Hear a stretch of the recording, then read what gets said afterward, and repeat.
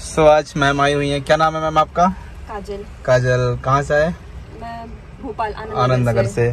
तो आज सीखने आए प्रिंस कार ड्राइविंग में कार सीखने और कैसे पता चला प्रिंस कार ड्राइविंग के बारे में? आ, मेरे भैया हैं हाँ, नितिन सेन। अच्छा, अच्छा। उनके थ्रू पता चला है। अच्छा मित्र वो जानते हैं मुझे है ना? जी जी। तो जैसे कभी कार सीख रहे होते तो पहले अपनी गाड़ी चलाई आपने इससे पहले? नहीं कभी नहीं चलाई। ज़ीरो लेवल है ना पहले से? हाँ, ज़ीरो और जब गाड़ी सीख रहे होते तो हमें कुछ चीज़ों का ध्यान रखना पड़ता है। गाड़ी के बारे में जानना बहुत ज़रूरी है। हेलो फ्रेंड्स, कैसे हो आप लोग? आइए बहुत अच्छे होंगे। स्वागत है मेरे यूट्यूब चैनल पे और आज हम लोग सीखने वाले पार्ट आज है पार्ट 14 और मैम आई हुई है बहुत दूर से आनंद नगर से कार सीखने के लिए और ज़ीरो लेवल से इनको बेसिक लेवल से स्टार्ट करना है। पहले कभी कार चलाई नहीं है। ज़ीरो लेवल से हम फ़र्स्ट डे क्या क्या सीखते हैं क्या क्या सीखना चाहिए? जैसे फ़र्स्ट डे में हम लोग जैसे गाड़ी के बारे में नॉर्मल जो फ़र्स्ट डे का जो एक्सपीरियंस रहता है क्लास रहती है, वो नॉर्मल चीज़ें होती है, जैसे क्लच ब्रेक एक्सीलेटर स्टेयरिंग वगैरह।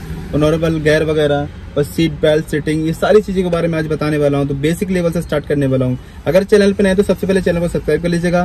बेल आइकन बटन ज़रूर प्रेस करिए, जिससे न्यू वीडियो अपडेशन आसानी से आपको मिल सके। हमें स्टार्ट करते हैं। हमें ध्यान रखना है गाड़ी के बारे में जानने से पहले कि गाड़ी को में क्या क्या चीज़ें ज़रूरी होती हैं। जैसे हम कार सीख रहे होते हैं तो सबसे पहले हमारा सिटिंग सही होनी चाहिए। सिटिंग दूर है, पैर दूर है पैडल्स पे नहीं आ पाएँगे, दिक्कत हो जाएगी, ठीक है? तो सिटिंग कहाँ होती है? एक नीचे लीवर होता है, नीचे। देखो ऐसे। ये उसको खींचो ऊपर एक हाथ यहाँ होना चाहिए ये उसको अब आगे थोड़ा सा खींचो उसको ये थोड़ा सा और पीछे ज़्यादा आगे हो गई। बस ठीक है ये ठीक है? अब यहाँ क्लच दबा के देखो। हाँ ये लेफ़्ट वाला दबा पूरा फुल प्रेस हो रहा है अच्छे से। ताकत तो नहीं लग रही है? नहीं राइट तरफ़ एक्सीलेटर पे पैर रखो सिर्फ़ अंगूठा सिर्फ़ अंगूठे। अंगूठा हाँ सिर्फ़ पीछे पीछे पैर रखो। ये ब्रेक में पैर रखो। ब्रेक हाँ बीच वाला ब्रेक है ये बीच वाला ब्रेक है। पैर रखो यहाँ पे हाँ। राइट वाला पैर राइट वाला पैर आएगा। ये ठीक है? सही आ रहा है? प्रेस हो रहा है क्लच कोई दिक्कत तो नहीं हो रही है?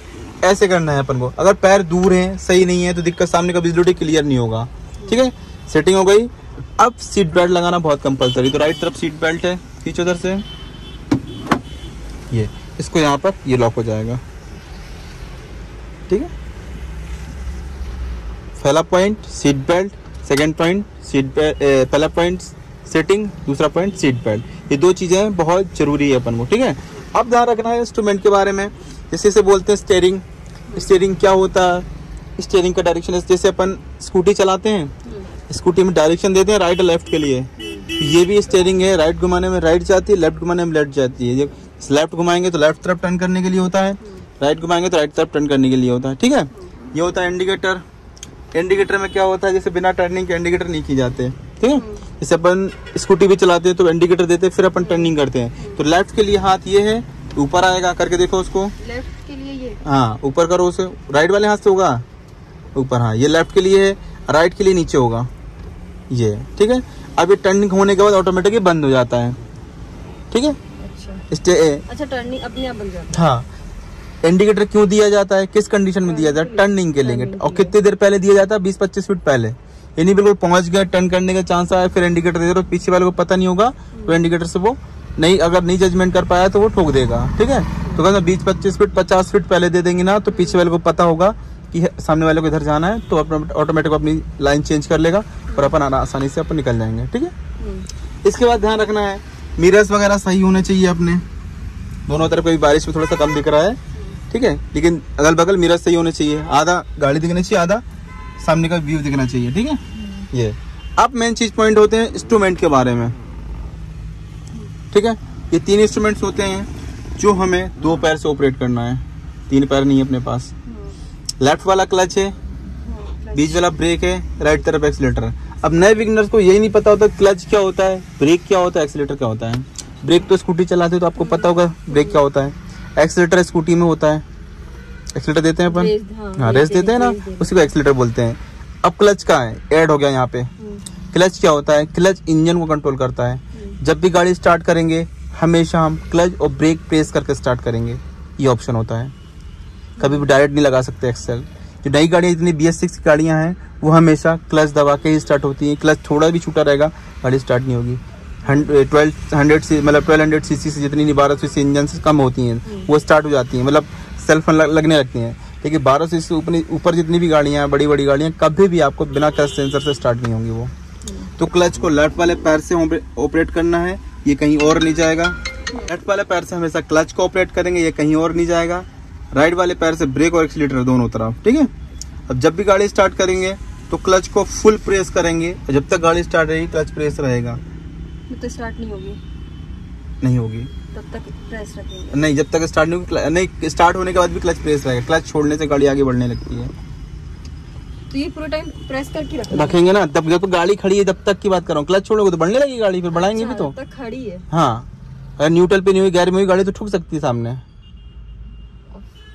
ठीक है तो क्लच को पूरा प्रेस करना है ब्रेक को पूरा प्रेस करना है फिर गाड़ी स्टार्ट करना है। ब्रेक से स्पीड कंट्रोल होती है क्लच से इंजन कंट्रोल होता है एक्सीटर से स्पीड को इंक्रीज किया जाता है बढ़ाया जाता है। ठीक है? लेफ़्ट वाले पैर से हमेशा क्लच को ऑपरेट करेंगे राइट वाले पैर से ब्रेक एक्सीटर दोनों तरफ़ मूवमेंट होगा। अब गाड़ी को रोकना पड़ेगा तो क्लच को पूरा प्रेस करना और ब्रेक को प्रेस करना। अभी न्यू विगनर से अपन सीख रहे हैं थर्टी से तो थर्टी फाइव से ऊपर ज़्यादा ड्राइव नहीं कर पाएँगे अपन ज़्यादा स्पीड में ठीक है? तो क्लच को प्रेस करो। स्टार्ट करो चाबी से। हाँ चाबी से स्टार्ट करो। दबा के रखना क्लच ब्रेक दोनों। ब्रेक भी। हाँ करो स्टार्ट स्टार्ट नहीं हुई अभी। अभी सिर्फ़ मॉनिटर ऑन हुआ है। स्टार्ट करो चाबी से। ये स्टार्ट हो गई गाड़ी। छोड़ दो।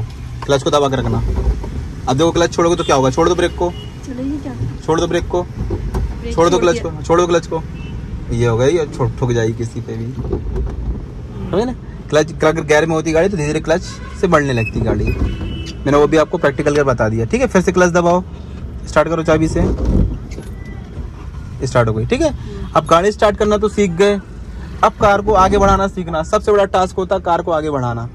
कैसे बढ़ाएँगे कार कार को आगे जो गाड़ी कभी बंद ना हो? क्या होता है नए बिगनर्स में सबसे ज़्यादा क्लच छोड़ने की दिक्कत होती है। जैसे क्लच छोड़ते गाड़ी हो जाती है बंद। तो भाई कन्फ्यूज़न रहता भाई गाड़ी बढ़ाएँ तो कैसे बढ़ाएँ? दो तरीके बताऊँगा, सबसे बेस्ट तरीके बताऊँगा। कभी ज़िंदगी में आपको गाड़ी बढ़ाने में दिक्कत नहीं होगी। कोई भी गाड़ी चला लोगे ना, लेकिन ये तरीका आपको याद रहा तो। अगर प्लेन जगह में गाड़ी खड़ी हुई है तो सिर्फ़ क्लच काफ़ी है उठाने के लिए। क्लच को धीरे धीरे बारीकी से रिलीज़ करोगे, जैसे हाफ़ क्लच वाइब्रेशन मोड पे। गाड़ी हाफ़ क्लच से उठती कभी पूरा क्लच नहीं छोड़ा जाता पहली बार में। जब तक 20 फीट तक रोलिंग पे ना जाए तब तक पूरा क्लच कभी नहीं रिलीज़ करना है। ठीक है? तो क्लच को कैसे छोड़ेंगे? धीरे धीरे ब्रेक छोड़ के लेकिन ब्रेक दबा रहेगा तो दिक्कत हो जाएगी। ब्रेक छोड़ के। प्लेन जगह में। प्रेशर लग रहा है हाँ। क्लच में प्रेशर रहता है। कोई भी गाड़ी चलाओगे क्लच में प्रेशर रहेगा। ठीक है? थोड़ा सा पैर अभी धीरे धीरे वो मसल मेमोरी सेट हो जाएगी ना तो दर्द होना बंद हो जाएगा। ठीक है? क्लच को धीरे धीरे अगर यही गड्ढे वड्डे में हुआ है अनबैलेंस जगह जैसे स्कूटी खड़ी नहीं कर देते गड्ढे वड्डे में कभी पत्थर वत्थर में तो वहाँ पे क्लच को तो हाफ़ छोड़ना है वाइब्रेशन पे। धीरे धीरे थोड़ा सा एक्सीटर भी देना है। ये दो तरीका होता है। दो तरीका आपने सीख लिया तो कभी ज़िंदगी में गाड़ी बंद नहीं होगी। देंगे? एक्सीटर राइट तरफ़। अच्छा। ठीक है? अब ब्रेक को छोड़ो। हाँ क्लच को। अब धीरे धीरे रिलीज़ करो हाफ़ क्लच रिलीज़ करो धीरे धीरे हल्का हल्का। ब्रेक से पर हटाओ पहले। छोड़ते जाओ धीरे धीरे ये घुमाते जाओ घुमाते जाओ मैं तो हाफ़ क्लच बाइट ये बाइटिंग पॉइंट पे छूटा है। ठीक है? ये उठ गई अगर इसको तेज जल्दी छोड़ दो तो गाड़ी बंद हो गई होती है अभी तक। ठीक है? निकल गई ना? गाड़ी चलने लगी। चलने दो चलने दो। ये। आप क्लच को रिलीज़ कर सकते हो पैर हटा सकते हो रोलिंग पे आने के बाद। छोड़ हाँ पैर हटा दो। ये। अब यहाँ पर सीखना हमें स्टेयरिंग का मूवमेंट करना ठीक है? नए विगनर्स में सबसे ज़्यादा दिक्कत होती है टर्निंग करने में स्टेयरिंग को मूवमेंट करने में। तो यहाँ आपका डर 90 परसेंट फिनिश हो जाएगा ठीक है? चारों तरफ़ और स्टेयरिंग घुमाना सीखेंगे। घुमाओ लेफ़्ट घुमाओ फटाक से जल्दी पूरा घुमाओ फुल फुल घुमाओ फुल घुमाओ काउंटिंग करो कितने बार गाड़ी घूम रही है ठीक है? राइट घुमाओ फटाफट जल्दी। एक दो तीन घुमाओ फटाफट फुल और फास्ट करो हाथों को। स्पीड लेवल कम रखना स्पीड तेज चल रहा है। हाँ लेफ़्ट घुमाओ फटाक जल्दी। एक दो तीन चार राइट स्पीड ज़्यादा तेज चल रहा है स्पीड कम करो। फिर राइट घुमाओ। एक दो फटाफट हाथ हाथ फास्ट चलाओ। स्पीड लेवल कम रखो इसका हाथ स्पीड मतलब स्टेयरिंग को स्पीड से करना है ठीक है? लेफ़्ट घुमाओ। एक दो तीन चार राइट घुमाओ फटाक जल्दी। एक दो तीन, चार। लेफ़्ट घुमाओ। एक, दो, तीन, चार। राइट घुमाओ फटाक से। एक, दो, तीन, चार। ये होता तीन सौ साठ डिग्री टर्न एक लेफ़्ट तरफ़ से राइट तरफ़। ये साढ़े तीन साढ़े तीन बार घूमती है, लेकिन इसको चार बार में काउंट करेंगे। ठीक है? एक, ये दो। स्टार्ट कर दो। ठीक है? एक तरफ़ से पूरी गाड़ी दूसरी तरफ़ चार बार में घूमती है और दो बार में सीधी होती है ठीक है? जिससे बोलते हैं तीन सौ साठ डिग्री टर्निंग ठीक है? अब कोई भी 90 डिग्री टर्न मतलब शार्प टर्न जो अचानक वाली टर्न होती है या यू टर्न होता है तो दो बार में स्टेरिंग घूमता है। घुमाओ राइट तरफ़ दो बार। एक ये दो। डेढ़ बार घूमते लेकिन काउंटिंग दो बार करेंगे इसको ठीक है? सीधा कितने बार में करेंगे? दो। बार में। सीधा करो। एक ये दो। इक्वल पकड़ो बराबर पे। हाथ बराबर पे आना चाहिए ऊपर नीचे नहीं आना चाहिए ठीक है? फिर लेफ़्ट को दो बार फटक से जल्दी। ये सीधा करो दो बार में। एक, ये दो। स्टेयरिंग को देखना नहीं है। अब सबसे बड़ी गलती होती है देखना। अब स्टेयरिंग देखने बैठोगे, सामने वाला एक्सीडेंट करेगा। ठीक है? फिर राइट घुमा दो और फटाक जल्दी। एक, ये दो। सीधा करो दो बार में। एक, ये दो। ज़्यादा कर दिया आपने, देखो। इक्वल पकड़ो इधर इधर। राइट घुमाओ। फटाक से राइट घुमाओ। एक, ये दो। हमेशा हाथ यहाँ और यहाँ होना चाहिए। ठीक है? करो सीधा दो बार में। एक, ये दो। ठीक है? आपके हाथ यहाँ इधर नहीं होना चाहिए, ना इधर होना चाहिए। एक इधर एक इधर। ठीक है? राइट हाँ टर्न करते टाइम राइट घुमा फटाक से जल्दी फिर से। एक ये दो। देखना नहीं है। करो सीधा दो बार में। एक ये दो। ठीक है? फिर लेफ़्ट घुमाओ फटाक से। एक ये दो। लेफ़्ट तरफ़ का भी इतना ही है। दो बार घूमेगा दो बार सीधा होगा। ठीक है? फुल करो सीधा। 90 डिग्री टर्न ये दो। देखो ले- गलत गया देखो। हाथ कैसे पहुँचे देखो। गलत गया ना? ऐसे होना चाहिए। ये हाथ उधर नहीं जाएगा वो हाथ इधर नहीं जाएगा। अगर इसको छोड़ोगे तो वापस यही हाथ पकड़ेगा उसको ठीक है? फिर लेफ़्ट घुमा दो फटक जल्दी। एक देखो गलत गया वो हाथ नीचे रखो। ये हाथ यहीं रखो ये वाला हाथ यहीं रखो ये। घुमाओ फिर से लेफ़्ट लेफ़्ट घुमाओ फिर से लेफ़्ट मैम लेफ़्ट बोल रहे तो राइट जा रही है आपकी गाड़ी। एक देखो गलत पकड़ रहे हो ना वो हाथ वहीं रखो। ये हाथ यहीं रखो नीचे। ये हाथ नीचे रखो। हाँ करो फिर से लेफ़्ट घुमाओ। घुमाओ लेफ़्ट ये। जिसको छोड़ोगे उसी को पकड़ोगे। करो सीधा दो बार में। एक ये एक एक बार और ये दो। ये हाथ उधर पहुँच रहा है बार बार ठीक है? इसको छोड़ोगे तो वापस घूमने का इसी को पकड़ना है। ये एक बार और घुमाओ। ये देखो ठीक है? करो सीधा। एक ये देखो बराबर आ गई गाड़ी? अगर यहाँ हाथ उधर पहुंचेगा वो इधर आएगा तो क्रॉसिंग में हाथ पहुँचेंगे फिर कोई मतलब नहीं है। हम्म, राइट घुमाओ फिर से दो बार। घुमाओ फटाफट एक ये दो। करो सीधा। एक ये देखो गलत पहुँच रहा है है ना? हम्म, गलत आ रहा है। एक चीज़ बहुत अच्छे ध्यान रखिएगा कि हर टर्न एक जैसा नहीं मिलेगा। मिलता है क्या? नहीं। कोई दूर का टर्न मिलेगा कोई पास का टर्न कोई एक बार में तो टर्निंग डिपेंड करती कितनी है। हम्म, नाइन्टी डिग्री टर्न है ट्वेंटी डिग्री टर्न है थर्टी डिग्री टर्न है किसी भी टर्न को मैं नाप के नहीं बताऊँगा इस रोड में चलो। अब देखो ये कितने बार टर्न होगा पता ही नहीं है। घुमाओ। घुमाओ घुमाओ घुमाओ घुमाओ। ये देखो घूम रही गाड़ी घूम रही? एक ही बार घूमी गाड़ी। घूमी हम्म, तो सीधा कितने बार करेंगे? एक बार में। करो सीधा। ये ठीक है? हम्म, ये चीज़ समझ में आना चाहिए? ठीक है? हाँ। समझ में आया? हाँ। कैसा लगा पहला दिन?